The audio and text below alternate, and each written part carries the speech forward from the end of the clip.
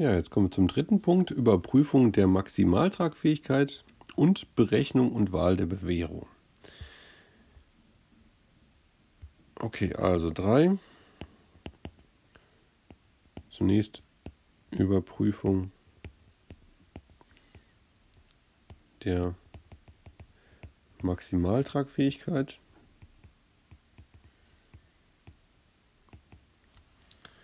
Das ist VRD Max. Und das rechnen wir einfach mit 1,4 mal VRDC vom berechneten VRDC U1. Also das, was wir hier gerade bestimmt haben. Also einfach 1,4 mal 0,771. Kommen wir auf 1,079 Meganewton pro Quadratmeter. Und das ist größer als die Einwirkung VED gleich 0,832 Meganewton pro Quadratmeter und damit eingehalten. Wunderbar. Dann können wir jetzt schon direkt die Durchstandsbewährung bestimmen.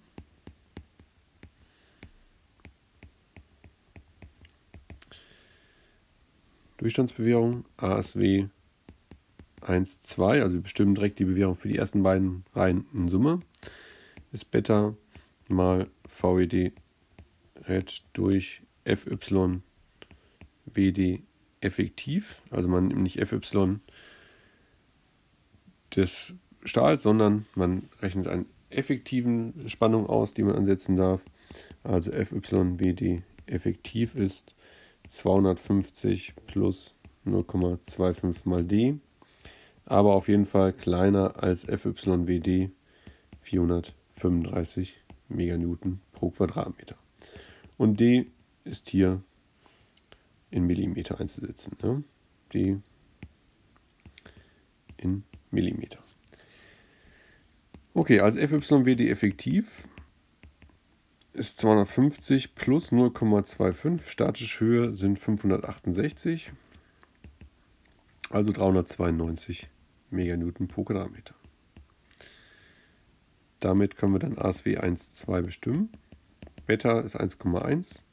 VED Red hatten wir oben ausgelesen mit 2,148 haben wir das bestimmt. Wo steht's? Hier haben wir es 2,148 Meganewton.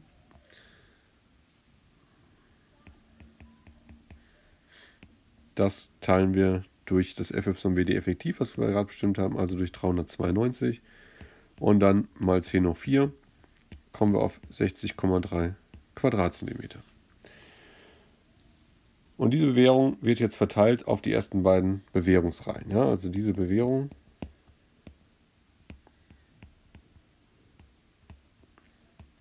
wird je zur Hälfte auf die ersten beiden Bewährungsreihen.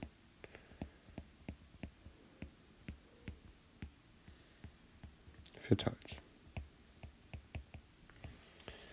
Gut, fangen wir an mit der ersten Bewährungsreihe.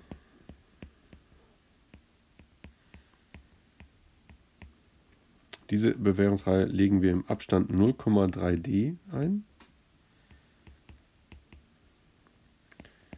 ASW ist dann einfach die Hälfte von 60,3, also 60,3 mal 0,5. Kommen wir auf 30,2 Quadratzentimeter. Der Abstand ist 0,3 mal d, also tragen wir noch hier oben ein 0,3 mal 0,568, also 0,170 Meter.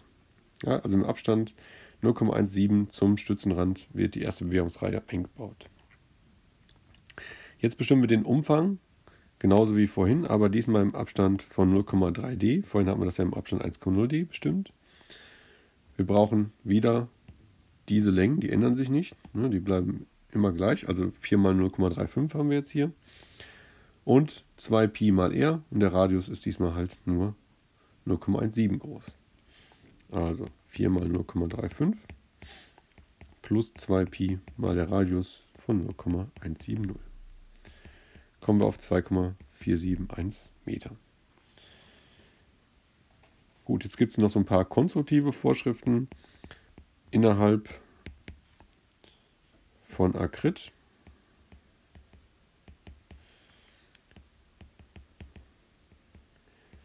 Gilt für alle dort angeordneten Bewährungsreihen.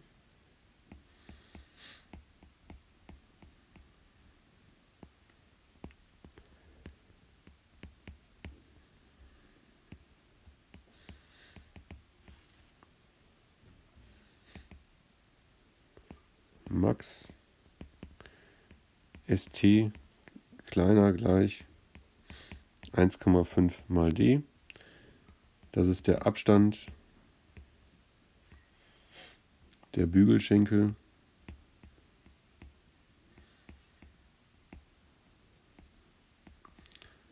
in tangentialer Richtung.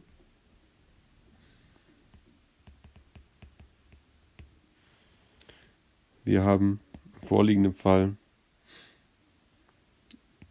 also ST kleiner als 1,5 mal 0,568 Meter, also 0,852 Meter. Das ist der maximale Abstand der Bügelschenkel in tangentieller Richtung. Was das bedeutet, gucken wir uns gleich noch in der Skizze an. Schreiben wir aber noch eben auf, dass wir auch einen maximalen Durchmesser für die Bewehrung wählen dürfen, für die Durchstandsbewehrung. Also für den Durchmesser.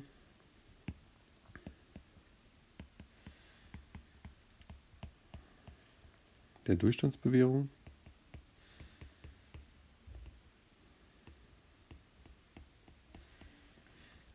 Gilt. Max Durchmesser SW kleiner gleich 0,05 mal D, also hier 0,05 mal 568 mm. Das heißt 28,4 mm darf der Bügel durch äh, Schenkel maximal sein. Aber das ist gar kein Problem. Wir wählen 8 Durchmesser 16. Das ist eine zweischnittige Bewehrung. Zweischnittige Bügel.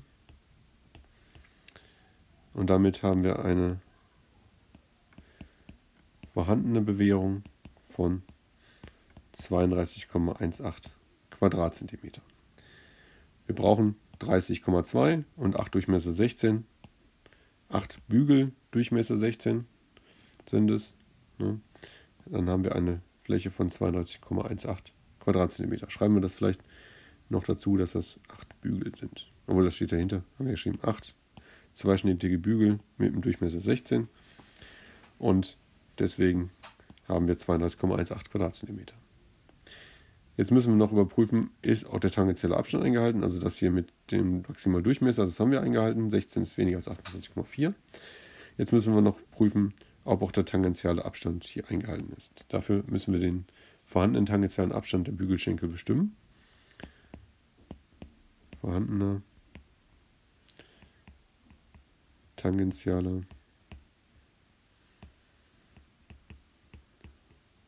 Abstand der Bügelschenkel ST. Ich skizziere das jetzt einmal.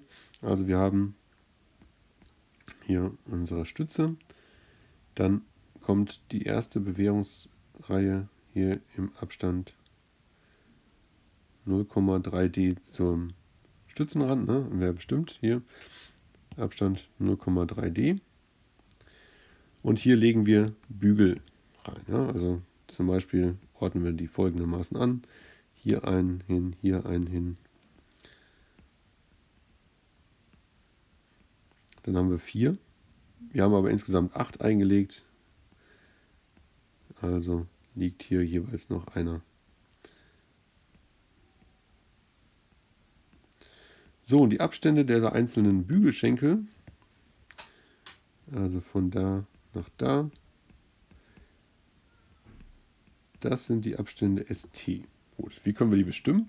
Wir haben hier insgesamt eine Länge von 2,471 Meter. Und wir haben insgesamt wie viele Stäbe drin liegen? Wir haben acht Bügel mit jeweils zwei Bügelschenkeln. Das heißt, insgesamt sind 16 Bügelschenkel hier. Das heißt, wir rechnen einfach U1 durch zweimal Anzahl der Bügelschenkel n Bügelschenkel. Das heißt, bei uns U1 haben wir gerade gesagt 2,471. Also U1 stimmt nicht ganz. Hier ist es ja U0,3D. Ne?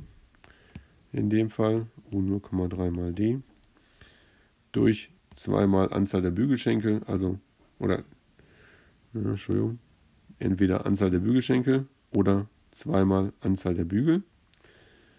Also Anzahl der Bügel zweimal 8. Kommt raus 15,4 cm und das ist deutlich kleiner als die maximalen 85,2 cm, die wir ausgerechnet haben. Okay, dann gibt es auch noch eine Mindestbewährung eines Bügelschenkels, die man einhalten muss, ASW min. Das ist 0,08 durch 1,5 mal Wurzel FCK durch FYK mal SR mal ST. Gut, was ST ist, haben wir schon geklärt. Das haben wir eingezeichnet. Was ist ST? Also die nächste Bügelreihe kommt hier im Abstand 0,5D. Also hier 0,5 mal D. Und hier ist 0,3D. Der größere dieser beiden Abstände das ist SR. Ne? SR steht, R steht für radialer Abstand, also so. T für tangentieller Abstand in diese Richtung, R für radialer Abstand. Wir nehmen den größeren, das heißt SR wäre bei uns jetzt hier 0,5D. Gut, damit können wir ASW min ermitteln. ASW min ist 0,08 durch 1,5. FCK, wir haben C30, FYK, Streckgrenze vom Stahl 500. Radialer Abstand 0,5D, also 0,5 mal 56,8 mal tangentiale Abstände haben wir mit 15,4 bestimmt. Und damit brauchen wir je Bügelschenkel mindestens 0,26 Quadratzentimeter.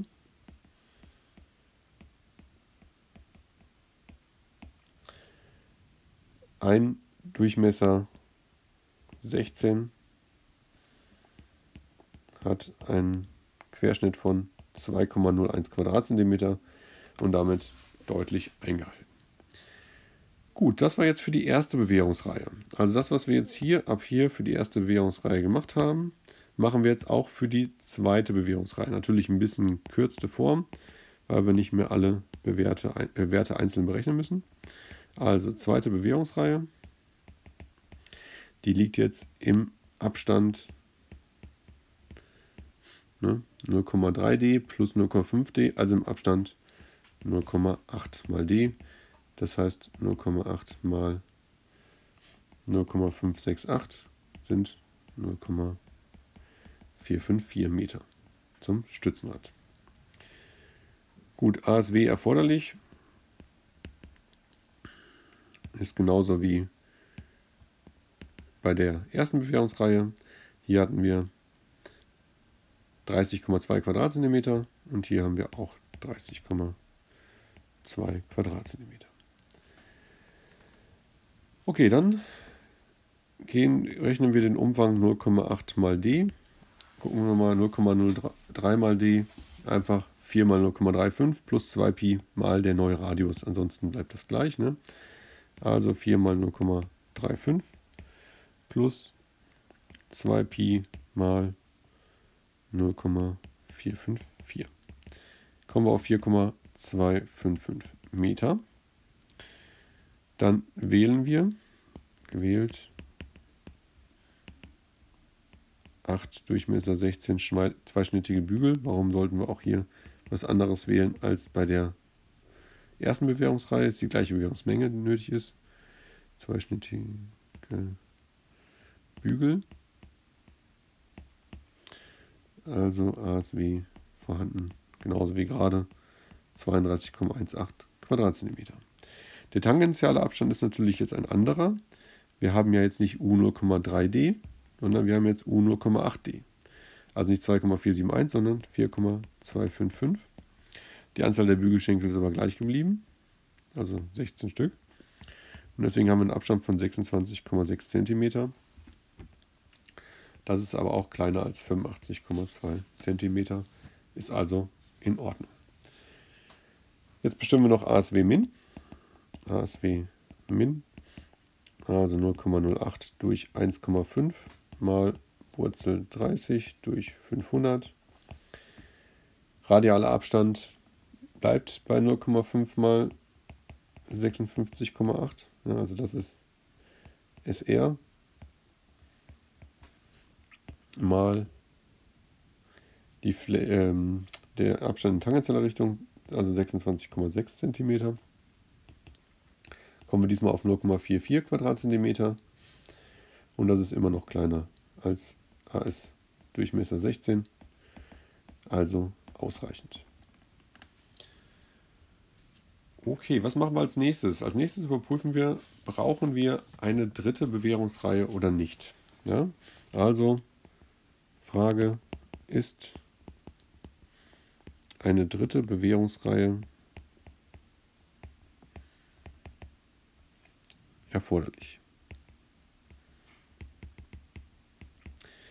Dafür gehen wir jetzt im Abstand 1,5d zur äußersten Bewährungsreihe, also hier zur zweiten Bewährungsreihe und schauen, ob in diesem Rundschnitt noch eine Bewährung erforderlich ist. Ja? Wir bestimmen dafür U-out, äußerer Rundschnitt, Umfang des äußeren Rundschnitts, im Abstand 1,5 mal d von der zweiten Bewährungsreihe. Okay, damit ist U out gleich 0,8 mal d plus 1,5 mal d. Also hier 2,3 mal d. d ist 0,568. Also haben wir 1,306 Meter. Okay, wir haben damit, dass, äh, dass der Rundschnitt teilweise außerhalb des Fundamentes liegt. Ja, der, das Fundament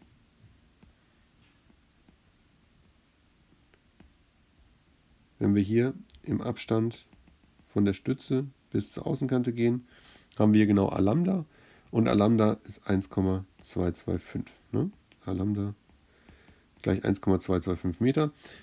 1,306 Meter ist größer. Das heißt, wir liegen teilweise mit unserem Rundschnitt außerhalb dieses Fundamentes. Ne? Also wenn, wenn ich den Rundschnitt jetzt hier einskizziere, dann liegt der so. Ne? Schreiben wir das einmal auf. Der äußere Rundschnitt im Abstand 1,036 Meter. 1,306 Meter liegt teilweise außerhalb des Fundamentes.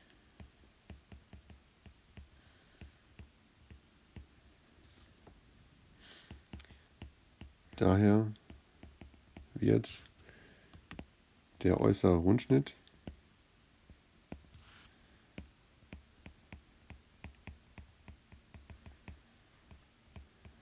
Auf der sicheren.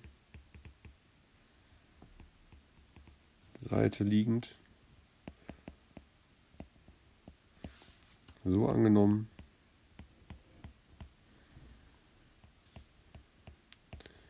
dass er genau an der Fundamentaußenkante.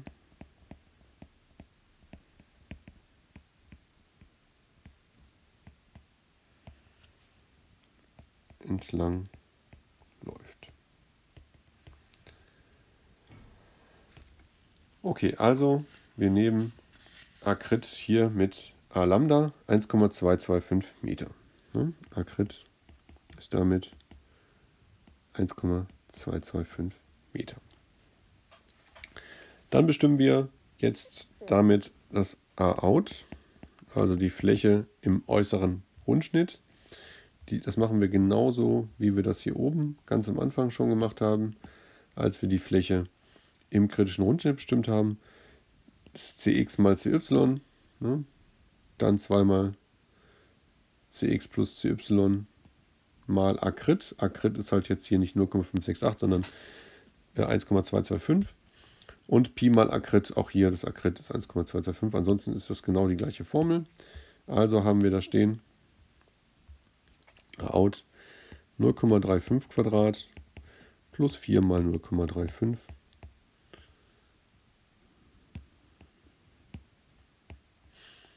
mal Akrit 1,225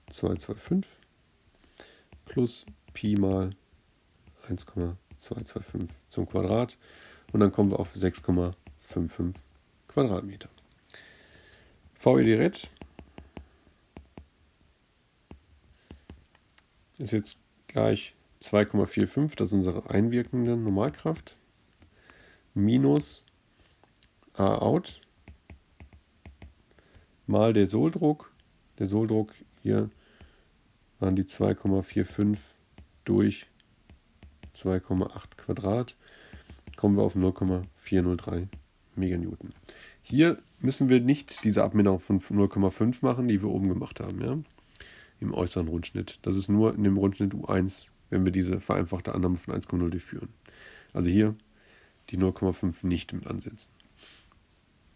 Damit können wir dann mit ähm, dem Akrit von 1,225 auch das U-Out bestimmen, also den Umfang im äußeren Rundschnitt.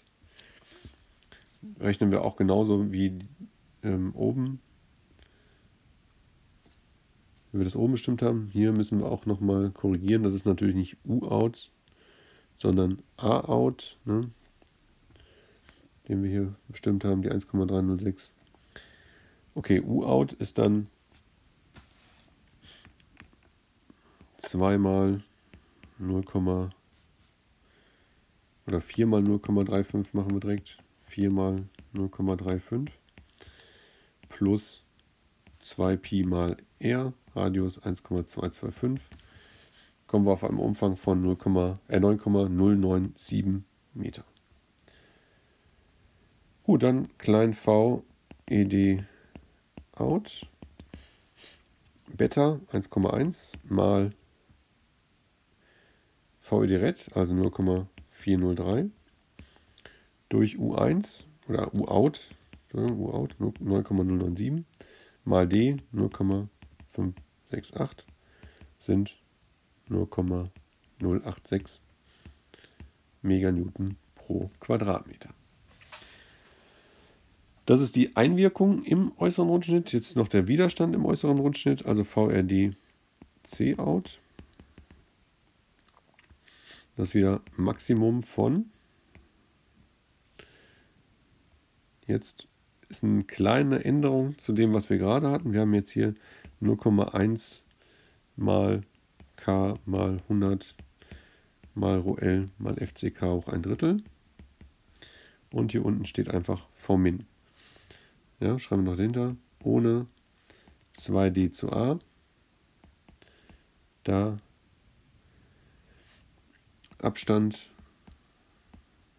des Rundschnitts.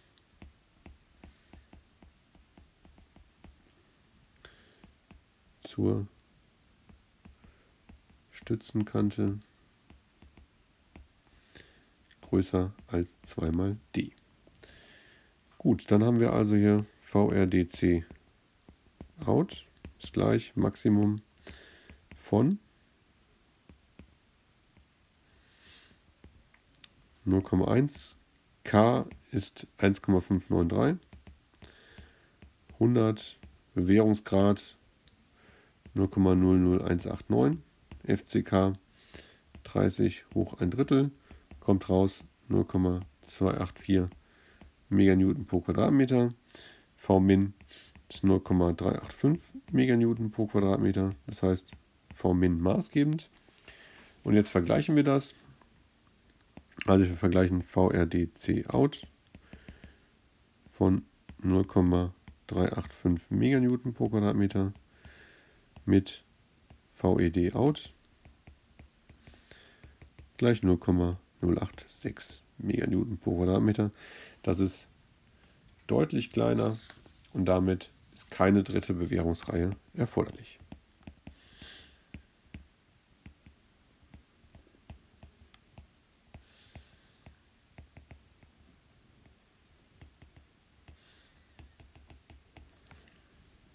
Okay, dann schauen wir uns noch den vierten Punkt dieser Aufgabe an. Nachweis der Mindestlängsbewährung zur Sicherstellung der Durchstandstragfähigkeit.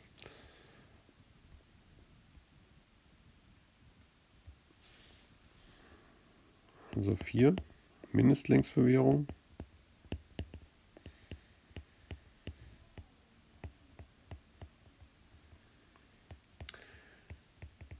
Zur Sicherstellung der Durchstandstragfähigkeit.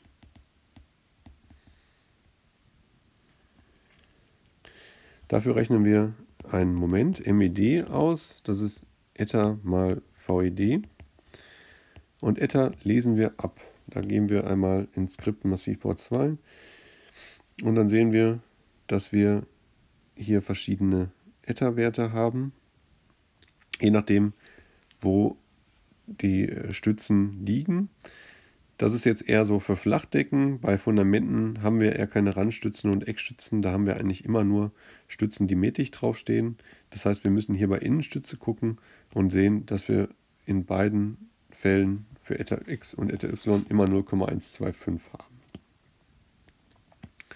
Also Eta ist bei uns 0,125. Wir lesen das aus bei den Innenstützen.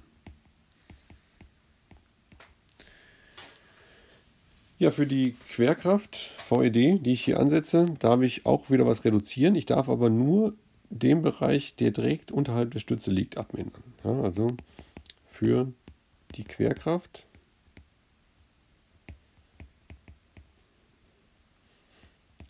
VED Red, gut nehmen wir es hier auch, VED Red, darf die Bodenpressung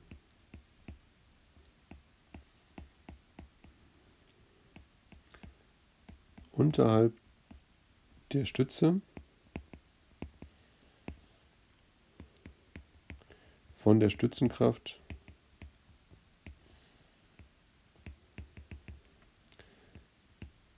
abgezogen werden. Okay, das heißt, kleine Skizze, Fundament, Stütze,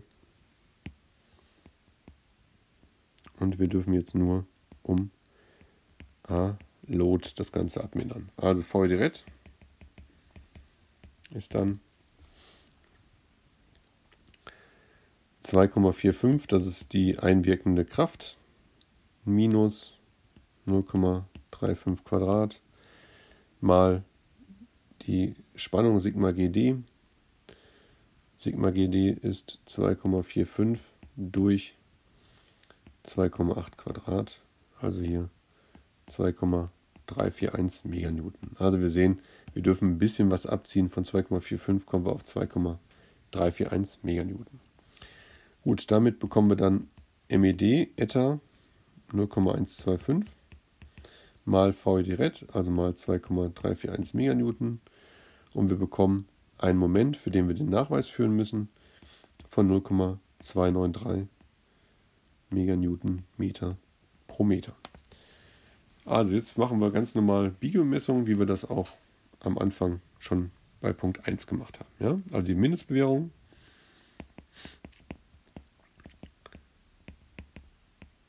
Bewährung zur Aufnahme dieses Momentes zu verteilen.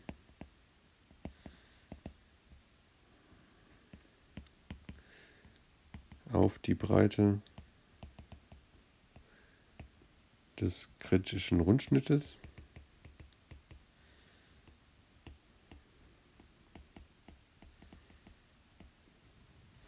Unter Beachtung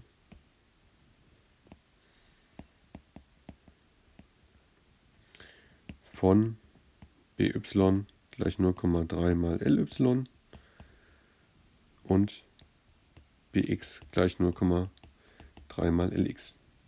Das haben wir auch hier in dem Skript stehen. Ne? 0,3 Ly, 0,3 Lx. Okay, das heißt BM ist gleich 0,35 plus 2 mal Akrit. Das ist 0,35 plus 2 mal 0,568. Also auf die, Breite von 1,49 Meter ist die Breite des Rundschnittes, ne, des kritischen Rundschnitts, also vom Stützenrand Akrit nach rechts und links. Aber größer als 0,3 mal Lx, also 0,3 mal 2,8. Das sind 0,84 Meter. Das heißt, hier auf einer Breite von 1,49 Meter müssen wir die Bewährung, die wir jetzt gleich ermitteln, einlegen. Gut, Mühe ds, Breite, äh, Moment ist 0,293 Meganewton Meter pro Meter. Breite, wir haben das Ganze hier pro Meter, das heißt, wir teilen durch b 1 Meter. Statische Höhe 0,568 zum Quadrat, FCD 17,0 kommen wir auf ein ds von 0,0534. Okay, für Omega müssen wir also jetzt hier, nehmen wir Skript massiv V1 nochmal rein, interpolieren zwischen 0,05 und 0,06, also das, was wir hier blau markiert haben schon. Das heißt 0,0515 plus 0,0621 minus 0,0515 mal, streichen wir 0,5 hier wieder raus, also 0,34, haben wir 0,0551.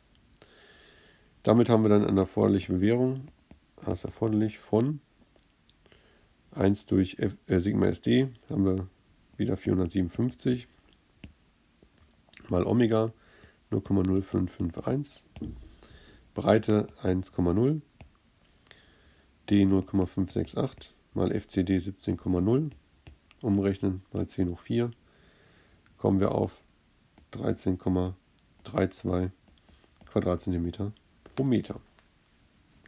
Und das muss, wie gesagt, auf einer Breite von 1,49 Meter eingelegt werden.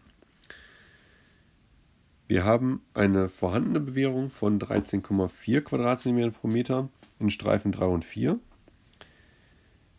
Diese ist aber nicht auf eine Breite von 1,49, sondern auf eine Breite von 1,40 Meter eingelegt. Das heißt, was machen wir? Wir legen diese Bewährung einfach auf eine etwas größere Breite, nämlich auf 1,50 Meter an und dann haben wir auch die Mindestlängsbewährung zur Sicherstellung der Durchstandstragfähigkeit eingehalten. Schreiben wir das noch auf. Die Bewährung der Streifen 3 und 4 beträgt 13,4 Quadratzentimeter pro Meter. Diese wird nun nicht wie vorne.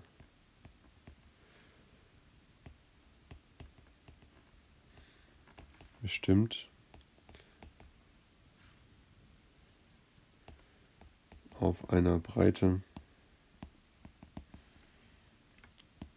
von 1,40 Meter, sondern auf einer Breite von 1,50 Meter eingelegt. Ja, also einfach es muss mindestens auf einer Breite von 1,49 Meter eine Bewährung von 13,32 Quadratzentimeter liegen. Und wir legen jetzt das einfach, äh, äh bringen wir diesen Nachweis, indem wir sagen, okay, das, was sowieso in Streifen 3 und 4 liegt, auf 1,40 Meter Breite, verlegen wir nicht auf 1,40 Meter, sondern auf 1,50 Meter und dann ist das größer als das und damit passt das.